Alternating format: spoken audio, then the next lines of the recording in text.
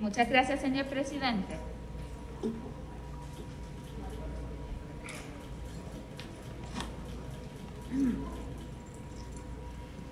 Vamos a, dejar meridianamente establecido que es imposible negociar con el verdugo.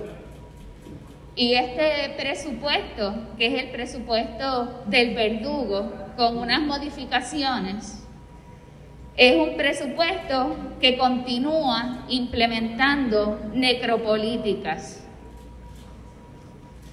Y qué bueno, y así mismo lo vimos en las vistas del, del compañero Santa, que hay dinero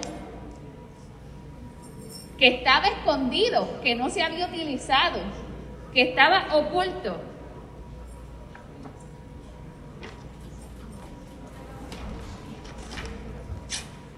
A hablar entonces del presupuesto oculto. El presupuesto oculto, y eso no es un término mío, el presupuesto oculto lo ha traído el analista senior de política pública, Daniel Santamaría Ots, de Espacios Abiertos, organización que solicitamos que dentro de las pistas de la Comisión de Hacienda se citara. ¿Y qué es el presupuesto oculto? Es un dinero que el gobierno de Puerto Rico deja de ingresar. Es un dinero que el gobierno de Puerto Rico los regala o lo invierte en el mejor de los casos.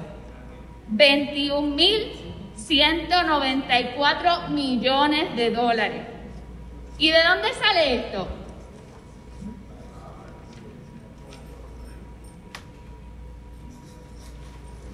Esto sale de la, de la ley, del Código de Incentivos de Puerto Rico. Y nosotros no sabemos, no sabemos qué ocurre con ese dinero, porque no hay informes que nos digan si los incentivos, si las extensiones, si el dinero que se está regalando tiene unos efectos beneficiosos para el país. O si por el contrario, los estamos tirando por la borda. Pero hablemos un poco sobre el proceso. Nosotros entendemos que se ha hecho todo al revés, o al menos sin incluir una parte fundamental. Primeramente, nosotros deberíamos evaluar cuál es el presupuesto que necesitamos para que el gobierno pueda funcionar y brindar servicios a la gente, para que el gobierno pueda promover el desarrollo económico y social. Eso es primero, ¿cuál es el que necesitamos? ¿Cuál es el presupuesto óptimo? Luego de nosotros ver cuál es ese presupuesto, ver qué agencias e instancias gubernamentales tenemos que fortalecer.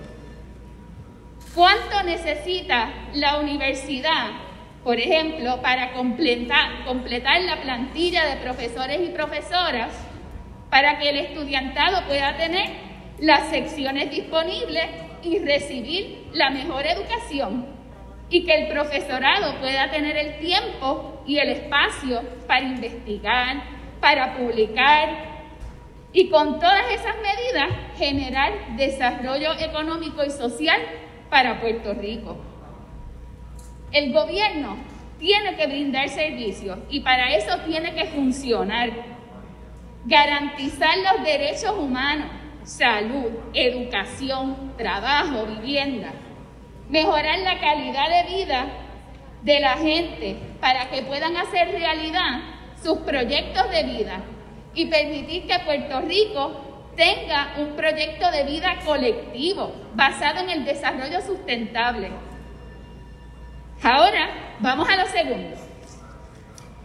Y antes de ir a lo segundo, le voy a traer una imagen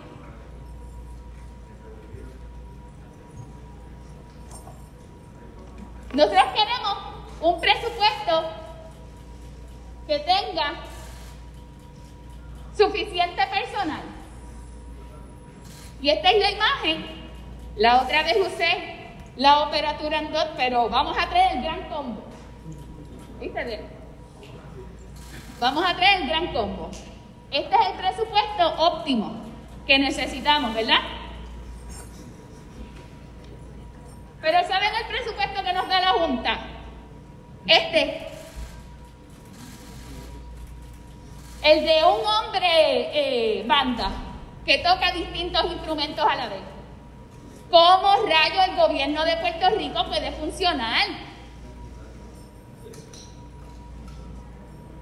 Necesitamos una banda completa en vez de un hombre banda. Y vuelvo y repito, no es por falta de dinero. Tenemos el dinero para la banda completa.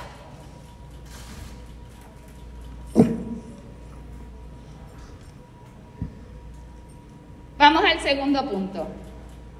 Después de ver cuál es el presupuesto que necesitamos, antes de someterlo, lo próximo que debimos haber hecho es revisar todo el Código de Incentivos de Puerto Rico, que es la Ley 60 de 2019, que incluye las famosas leyes 20 y 22 y el dinero que dejamos de ingresar a nuestra cuenta que nutriría nuestro presupuesto, que es este.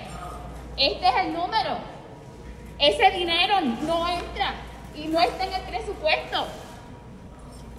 Así que está ahí y no se gasta, se gasta mal. La pregunta que nos debemos hacer es, ¿tenemos dinero para regalar?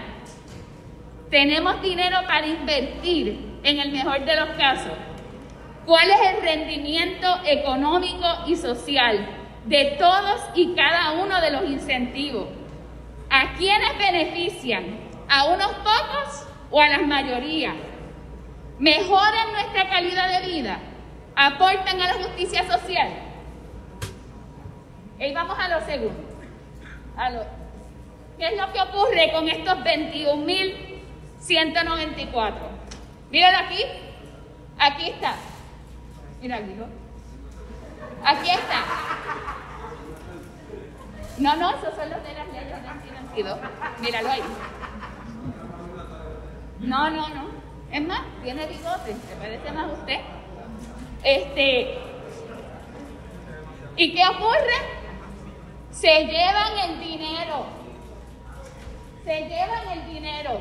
Y las corporaciones extranjeras también. Ese dinero no llegó ni al Banco Popular.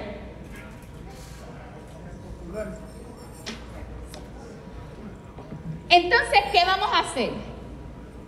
¿Cómo es posible que estemos organizando a Puerto Rico y el presupuesto es ese documento rector que va a decir qué podemos hacer y qué no podemos hacer?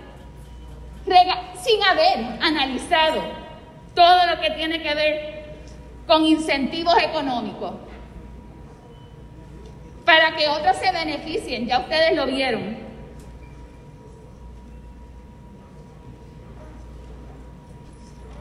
Vamos a hablar de otros presupuestos, de agencias que ni siquiera deberían existir. Vamos a hablar de la AFAF. El presupuesto de la AFAF es de casi 84 millones de dólares. Casi 84 millones de dólares. Y el 88% se gasta en servicios profesionales. 25 millones en contratos de asesoramiento legal, aunque tiene una oficina de asesoramiento legal de 17 empleados. También la autoridad para alianzas público-privadas, que es el organismo rector de la privatización, y tampoco debería existir. 15.3 millones de dólares. Vaya sumando. Ahí están los 94 que le hacen falta a la Universidad de Puerto Rico. Y hablando del dinero de la universidad, disque para becas. Mire con quién va a tener que solicitar las becas los estudiantes. El grupo de trabajo está compuesto por la universidad, por Hacienda, por AFAC y la Junta de Control Fiscal. ¿Cuántas becas va a otorgar? ¿A quiénes va a otorgar esas becas?